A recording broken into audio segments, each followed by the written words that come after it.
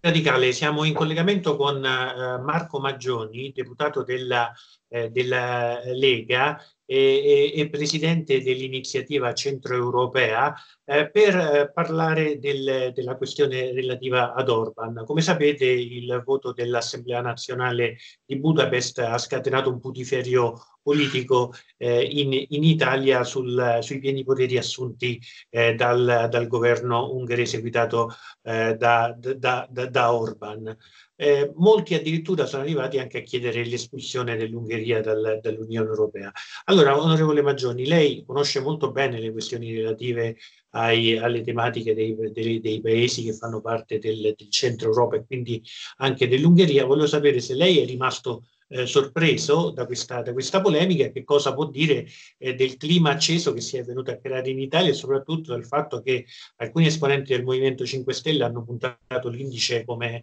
contro Orban. Credo che nella fase in cui ci troviamo, e lo dico eh, direttamente dalla Lombardia, chi si occupa di Ungheria ha del buon tempo da perdere. Eh, noi stiamo vivendo un'emergenza nazionale eh, senza precedenti e quindi io credo che eh, le energie, il tempo eh, che ogni parlamentare o esponente del governo debba eh, così utilizzare eh, debba essere proprio per cercare di uscire il prima possibile e nel migliore dei modi possibili da questa emergenza che è sanitaria ma che è anche e soprattutto eh, economica in un'ottica eh, futura e quindi pensare all'Ungheria, eh, voglio dire, mi sembra qualcosa che dovrebbe essere lasciato un po' da parte. Oggi abbiamo ben altri problemi e anche l'atteggiamento di alcuni esponenti della Commissione europea, francamente non l'ho capito. Prima si risolvano le grandi questioni europee che sono eh, come uscire da questa eh, crisi finanziaria che si prefigura o addirittura è già in atto e poi si può andare a valutare se un provvedimento che peraltro è stato legittimamente assunto da uno Stato membro come l'Ungheria è un provvedimento eccessivo oppure se è un provvedimento che, data la natura e data la situazione, eh, risulta tutto sommato tollerabile. Faccio notare che ecco, Orban non ha ricevuto questi poteri schierando i carri armati in piazza. È una decisione che ha preso legittimamente il Parlamento ungherese. Poi da parlamentare posso dire che quando eh, il potere passa dal Parlamento al governo in via totale ed esclusiva, è chiaro che non mi metto a festeggiare perché credo che il Parlamento come noi abbiamo rivendicato che debba essere centrale nell'attività politica e istituzionale del nostro Paese, io auspico che questo avvenga in tutti gli stati eh, dell'Europa, però credo che in questo momento l'emergenza numero uno è l'emergenza sanitaria, l'emergenza economica è quella che viene appena dopo e quindi pensare all'Ungheria è qualcosa che secondo me distrae da quelle che sono le nostre eh, iniziative che dovremmo assumere. Senta, lei eh, avendo eh, con la sua esperienza da presidente dell'iniziativa centro europea, ha avuto l'impressione che Fidesz fosse un partito eh, che agisse in spregio dei, dei, valori democratici e dello Stato di diritto e ritiene che mi, il suo scopo è quello di, di minare alla, a, alle, alla democrazia ungherese oppure ritiene che questo sia un luogo comune che si è creato in Italia, visto che tra l'altro Orban è anche un esponente del Partito Popolare Europeo? Io ho sempre lavorato e lavoro tuttora benissimo con i colleghi ungheresi dell'iniziativa centroeuropea. Abbiamo ottimi rapporti con i parlamentari eh, che fanno parte dell'assemblea dell'iniziativa centroeuropea. Ho ottimi rapporti anche con l'ambasciata eh, a Roma dell'Ungheria per cui lavorandoci insieme, conoscendoli e condividendo eh, quanto eh, è stato fatto in questi ultimi anni, ricordiamoci che soltanto prima dell'arrivo di Orban l'Ungheria era uno Stato in grandissima difficoltà sociale e in grandissima difficoltà economica. I risultati ci dicono che con la cura Orban degli ultimi, degli ultimi anni l'Ungheria è diventato uno dei paesi economicamente eh, più forti in questa, in questa Unione Europea. Per cui io devo dire che sul fronte dell'Unione Europea, sul fronte dell'iniziativa centroeuropea, non mi è sembrato di eh, lavorare, sono certo di, di, che, che, non sto lavorando con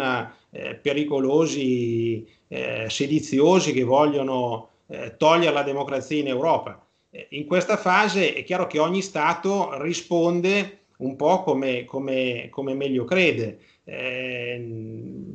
Orban ha deciso di rispondere in questo modo e finiamo di affrontare nel migliore dei modi questa emergenza e poi potremo interrogarci se questa misura risulta eccessiva oppure se è una misura che nel contesto ungherese è necessaria per affrontare eh, con dei risultati tangibili e concreti e nel migliore quindi dei modi l'emergenza coronavirus.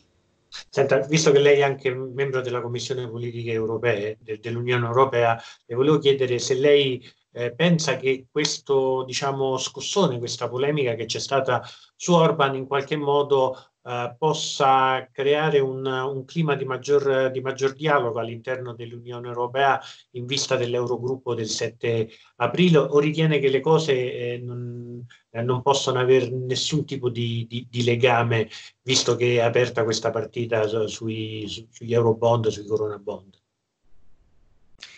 Ma non credo che incida più di tanto, mm, non credo che incida più di tanto per due motivi. Il primo è che l'Ungheria, come sappiamo, eh, non è tra gli stati che utilizzano l'euro eh, come valuta e questo significa che già nella valutazione macroeconomica che viene fatta sugli strumenti da utilizzare per uscire eh, per riuscire a dare risposte alle, alle, imprese italiane ed europee, ecco, il discorso Ungheria non rientra quindi nello schema della BCE. L'altro aspetto è che mi pare di capire che eh, i leader europei stanno affrontando questa emergenza con gli strumenti classici, mi verrebbe da dire gli strumenti vecchi, ma mi limito a dire gli strumenti classici. Qui siamo di fronte ad una situazione eh, inedita per la sua gravità e quindi situazioni inedite eh, necessariamente devono avere cure inedite eh, perché altrimenti non se ne esce.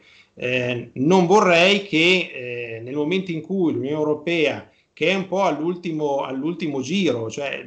da questa emergenza io penso che l'Unione Europea o ne esce bene o ne esce con le ossa rotte e quindi a quel punto eh, raccoglieremo quel che rimane, i cocci che rimangono di questa, di questa istituzione. Non penso che se ne esca, eh, che, che, che, l'Unione Europea ne possa uscire eh, così in modo, in modo neutro, o ne esce bene o ne esce davvero con le ossa rotte. Eh, l'occasione è ghiotta per l'Unione Europea, deve dimostrare di avere delle istituzioni che capiscono innanzitutto la gravità del momento, delle istituzioni che sono in grado di mettere eh, sul piatto risorse eh, sufficienti ad affrontare quella che è l'emergenza eh, economica e deve avere istituzioni in grado di lavorare a stretto fianco con la Banca Centrale Europea affinché, come avviene in tutte le altre potenze mondiali, la, la, parte, l'istituzione politica e eh, fiscale lavora e si coordina con l'aspetto monetario, con l'aspetto finanziario. Se BCE e Commissione eh, recitano ruoli differenti o addirittura in contrasto, eh, questa Unione Europea non solo non darà eh, strumenti tangibili per, una, per attutire quelli che sono gli effetti di questa crisi economica, ma addirittura rischia davvero di scomparire. Certo, un ultimo aspetto. Allora, tra i più duri nei confronti di Orban e di chi lo ha difeso, tra questi ci sono Salvini e la Meloni, c'è stato il Movimento 5 Stelle che ha puntato l'indice contro Salvini che lo ha difeso, la Meloni che l'hanno difeso. Allora, come avete trovato questi attacchi del, del Movimento 5 Stelle che diciamo insegnano la democrazia alla Lega e a Fratelli d'Italia? Bah, noi non abbiamo bisogno di lezioni che ci arrivano eh, dal Movimento 5 Stelle eh, in fatto di, di democrazia, perché eh, se fossero così democratici allora eh, evidentemente a settembre saremmo andati al voto dando una, un governo di diretta emanazione della volontà popolare. Quindi le elezioni dal 5, dai 5 Stelle le rimando, le rimando sonoramente al mittente. Eh, detto ciò, ripeto, noi in questa fase siamo impegnati in altro, cioè non, non capisco come si possa perdere tempo a commentare eh, Orban cosa fanno in Ungheria. Eh, è chiaro che se finita questa emergenza, eh, allora Orban tenesse ancora i pieni poteri eh, che gli sono stati conferiti proprio per combattere il coronavirus, e allora in assenza di un'emergenza eh, l'esclusione del Parlamento è chiaro che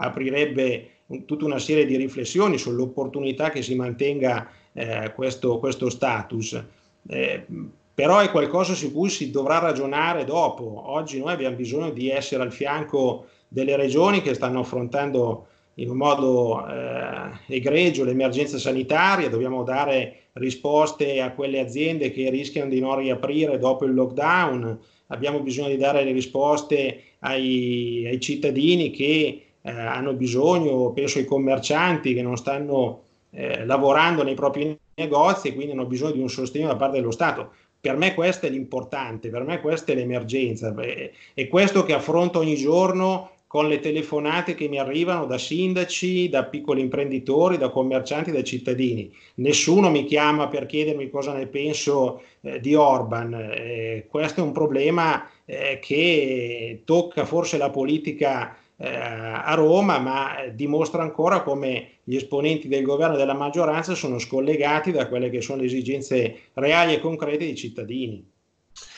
Bene, io la, la ringrazio molto della sua disponibilità, ringrazio l'onorevole Marco Maggioni eh, della, della, Commissione delle Politiche dell'Unione Europea, presidente dell'iniziativa Centro Europea. Naturalmente la saluto, mi auguro di vederla al più presto a Montecitorio e, e che questo incubo finisca per tutti, soprattutto per la Lombardia che ha pagato un prezzo eh, incredibile a quello che è accaduto. Grazie ancora onorevole. Grazie a voi.